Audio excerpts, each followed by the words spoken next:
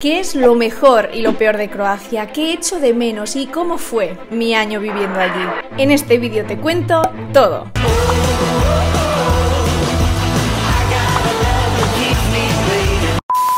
¡Hola! Bienvenido a mi canal. Si no me conoces, yo soy Elena, encantadísima de conocerte. En el vídeo de hoy te voy a hablar de cómo fue mi experiencia viviendo en Croacia. Viví allí durante un año. También tienes que saber que me fui allí a vivir un año porque obtuve una beca de electorado para trabajar en la Universidad de Sadar. Y por supuesto, todo lo que voy a comentar está basado en mis experiencias personales a lo largo de ese año viviendo en Croacia, concretamente en la ciudad de Sadar. Como experiencias hay muchas y de todo tipo, puede que lo que yo te cuente sea diferente a lo que tú hayas vivido o vivas cuando vayas a Croacia. Así que Teniendo esto claro, vamos a empezar. Vamos primero con la parte negativa y así nos la quitamos ya. Lo primero que destacaría como negativo es que al ser Croacia un país muy, muy turístico, te das cuenta de que la vida cambia un poco cuando no es época de turismo. Así que en los meses, por ejemplo, de otoño, de invierno, es muy frecuente, o al menos eso es lo que yo me encontré, que no haya tantas cosas para hacer o que muchísimos negocios, restaurantes estén completamente cerrados. Y que de nuevo en la época de primavera y de verano vuelvan a abrir y estén como siempre. Pero es cierto que si vives allí falta algo y que todo, todo lo que hay en parte no está cuando se van los turistas. Esto obviamente no es malo, es un negocio. Pero si vais allí y estáis allí en invierno, tened en cuenta que muchos establecimientos, restaurantes, tiendas van a estar cerrados. Dentro de lo peor también incluyo por experiencia personal los medios de transporte y no es que los transportes en Croacia estén fatal, nada de eso, sino que hay que tener en cuenta varias cosas. El autobús es el medio de transporte más popular y lo que más utilizan. Y luego tenemos los trenes, pero aquí el problema que yo tuve. Las líneas regulares de tren no están en todas las ciudades, sino que solo están en ciudades más grandes como Zagreb, la capital, Split y Rijeka. Así que en la zona en la que yo vivía, en Sadar, no había tren y la única forma de acceder a Zagreb para poder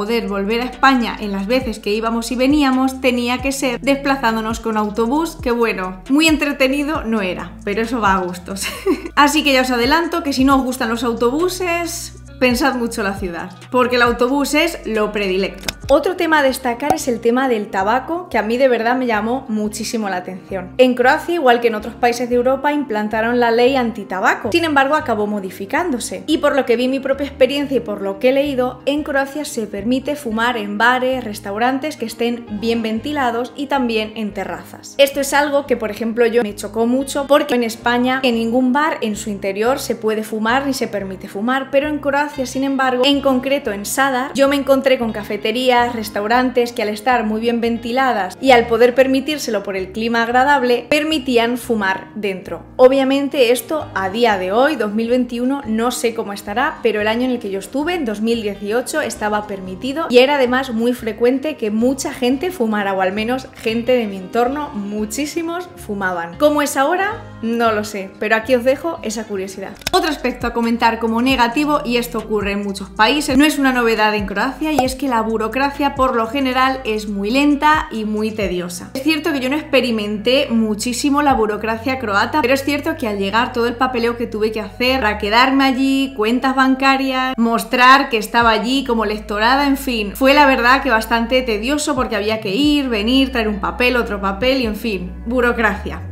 Nada nuevo. Vámonos ahora con cosas indiferentes que no son ni positivas ni negativas, pero que es importante que conozcas. La primera cosa a tener en cuenta es que Croacia no tiene euros, sino que cuenta con una moneda propia, la cuna. Para que os hagáis una idea de la equivalencia entre euro y cuna, un euro equivaldría a 7,50 cunas. La segunda cosa que marco como indiferente porque ni es buena ni es mala, simplemente está, pero es importante que lo conozcáis, es la barrera del idioma. Y es que, por supuesto, en Croacia su lengua es el croata. Si bien es cierto que mucha población habla inglés y te entiende perfectamente si les pides algo en inglés, la realidad es que en muchos sitios obviamente vas a necesitar usar su lengua materna, el croata. Por ejemplo, para temas de burocracia, sí o sí necesitas a alguien que hable croata y que te ayude. Y algo súper positivo es que aprendáis algunas palabras de croata o incluso que aprendáis, ya que os va a facilitar la vida allí e incluso os va a acercar a la gente de allí, ya que siempre que tú les dices una palabra, una frase en croata, ellos se alegraban muchísimo y se abrían muchísimo más. Yo, por supuesto, en un año no me dio tiempo a aprender a hablar croata, eso era imposible, pero sí es cierto que aprendí algunas palabras básicas de uso cotidiano y que desde luego cuando lo utilizaba se notaba. Que por cierto, algo aquí muy positivo de vivir en Sadar es por ejemplo la forma de hablar y es que hay diferentes acentos. Por ejemplo, con la palabra gracias, bala o algo así, en Zadar se pronunciaba de una manera más sencilla, fala. Y es que el acento en la costa de Sadar era de esta manera y que para mí me encantaba porque era más fácil. Así que ya digo, aprendeos las cuatro palabras cotidianas si vais a viajar allí, porque va a hacer que vuestra experiencia sea mucho más rica y que podáis conocer a mucha más gente. Pero ya digo, si no sabéis nada de croata, yo estuve allí viviendo sin hablar croata y te defiendes con inglés, no hay problema, aunque eso sí, en determinados sitios necesitas croata sí o sí, no hay más. Lo primero que quiero destacar como lo mejor de Croacia es algo quizá muy baladí, pero que a mí en particular eso me llegó al alma y me encantó, y es la cultura de café. Yo llegué a Sadar, no sé si es algo de todo el país o solo de la costa, me encontré con una sociedad que constantemente descansaba, paraba cuando terminaba el trabajo, antes de empezar el trabajo, a todas horas tomaba café. Y eso es algo que yo, como adicta al café que soy, me encantaba. ¿Se toman café a toda hora? Lo cual está muy bien. Tiene además una inmensa variedad de cafés y de verdad que es que lo disfrutan muchísimo. Y es algo que yo interpreté a modo ritual. Ellos quedan con sus amigos, se toman un café, terminan el trabajo, se toman un antes del trabajo se toman un café, la pausa del trabajo se toman un café. Y chico, eso a mí me encantó. la segunda cosa positiva a destacar, como buen paladar que yo tengo, es la gastronomía croata. Y es que en mi estancia allí descubrí un montón de platos típicos que están riquísimo. O sea, es que tengo ganas de volver a Croacia solo por volver a comer esto, porque es que de verdad, qué rico. Entre esas cosas típicas que tienes que probar y que a mí me encantaron, tenemos la pastichada, que es una especie de guiso con ternera o buey, con verduras, ñoquis, eso es una cosa, chicos. Hoy. Mi gran amor croata, burek. Es un hojaldre que te puedes encontrar o bien relleno de carne o bien relleno de queso fresco, que este segundo era mi absoluto favorito y que allí, de verdad, a cada rato estaba comiendo burek de queso porque qué cosa más rica. También tenemos sarma, cebapchichi y unos dulces que a mí me fascinaron porque me recordaron mucho a los churros y son los fritule. En fin, hay un universo de cosas nuevas por probar, pero estas son las que más recuerdo y las que más echo de menos. Además, Croacia también cuenta con un montón de platos de la cocina italiana y era muy fácil en Sadar al menos encontrar pizzas gigantes muy baratas y que estaban muy buenas y platos en definitiva de la cocina italiana. ¿Veis? Este es el paraíso de la pasta. Barilla. Mira qué Todos los pasta. tipos. Ah, mira, estas croatas. Así que yo aquí, nada negativo, todo positivo.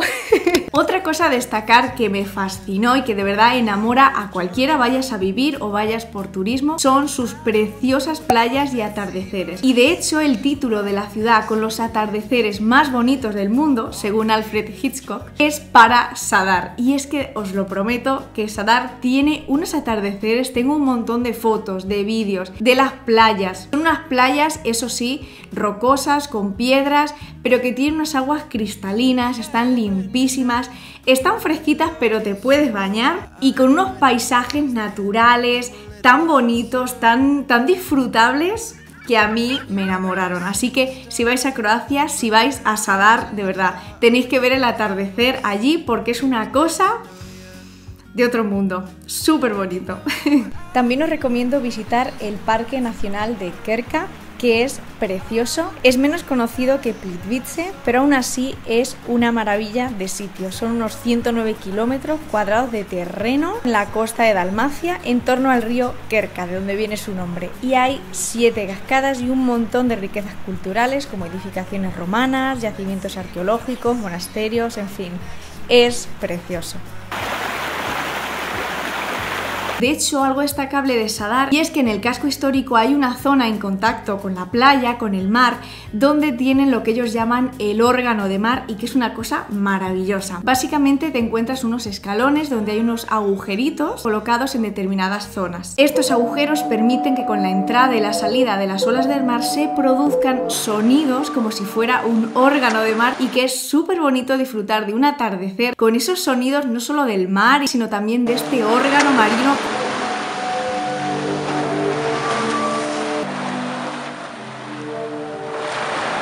tan bonito y que de verdad, si vais a Sadar, tenéis que ir sí o sí. De verdad de la buena. Por cierto, y perdonadme la luz, que es que vaya día, sale el sol, se va y la cámara está la pobrecita mía graduando como puede. Así que si veis que estoy muy clara, muy oscura, de pronto es por la luz del sol, que ahí yo no puedo hacer nada. Otra cosa maravillosa de Croacia son sus preciosas ciudades. Cuenta con unas ciudades y pueblos preciosísimos, con mucha historia, que son súper bonitos, con piedra. A destacar Sadar, de mi corazón, Split. Cause I need nothing more than you. No, I need nothing more than you. To come back Dubrovnik, que esto es donde rodaron Juego de Tronos y que de hecho tengo un vídeo donde os muestro cómo es la ciudad, pero ya os digo que preciosa. To come back home. Won't you come back home?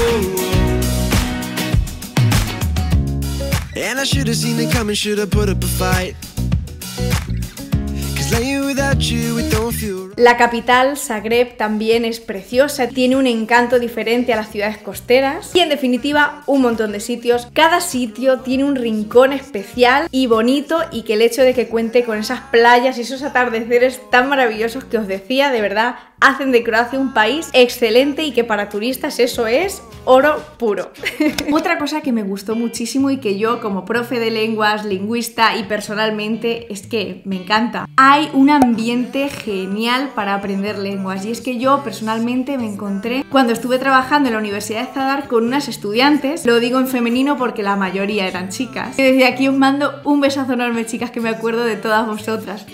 Pues como digo, son personas muy abiertas a aprender lenguas y que además suelen hablar más de una, más de dos y hasta más de tres. De hecho, algo que a mí me llamó la atención particularmente es que cuando yo estuve trabajando en la universidad no solo había un departamento de español, que es lo habitual, sino que también los estudiantes contaban con la posibilidad y con un profesor nativo de aprender gallego y catalán, lo cual me parece maravilloso porque a la hora de aprender lenguas, ya que están aprendiendo español, ¿por qué no abrir un poco más la mente, aprender más? Acerca del gallego, del catalán. Fue algo que me llamó muchísimo la atención para bien y es que de verdad, qué maravilla y ojalá en todos sitios fuera así.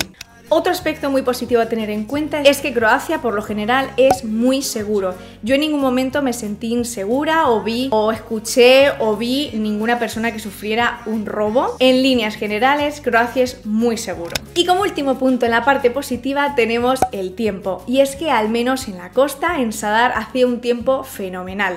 No hacía mucho frío, aunque sí es cierto que el año que yo estuve viviendo allí nevó, que todo el mundo me decía que eso era una locura, pero nevó pero sí es cierto que no era un frío extremo, ni mucho menos. Desde luego, Sadar contaba con muchos días de sol, de cielo despejado y en definitiva, súper buen tiempo. Eso sí, de las varias veces que nosotros íbamos a Zagreb para venir a España, nos encontramos en que en épocas de noviembre y diciembre en Zagreb nevaba muchísimo, pero muchísimo, muchísimo.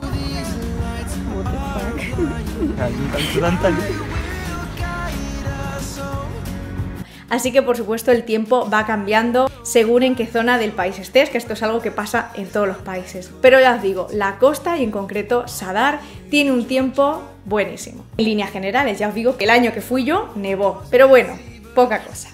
en definitiva, mi experiencia viviendo en Croacia fue maravillosa. Por supuesto, fue una experiencia de un año y tampoco tengo las experiencias ni el bagaje necesario para contaros más cosas negativas o positivas, ya que en un año no da tiempo a todo lo que quisiéramos. Croacia es un lugar que a turistas les encanta, pero que yo os invito a que vayáis allí no solo en época turística, sino fuera de los meses turísticos para que conozcáis también el otro lado de Croacia, la vida real de Croacia, vamos a decir.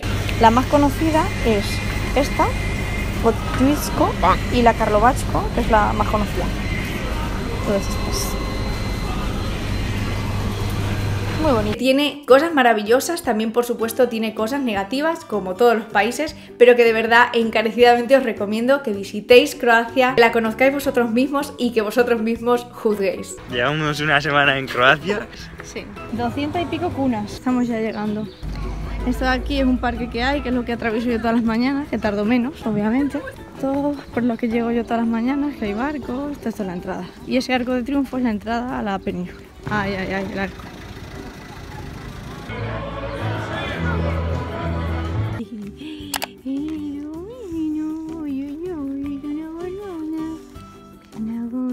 Chicos, he dicho lo de mi libro y mirad cómo están ya los chinos esperando las firmas. Y ahora voy a pedirte una cosa, vete a este vídeo a ver cómo fue mi experiencia en Polonia, porque yo he vivido en muchos sitios. Croacia, súper bien. Pero ¿y Polonia? Aquí lo tienes. Y déjame un buen me gusta si te ha gustado este vídeo. ¡Chao!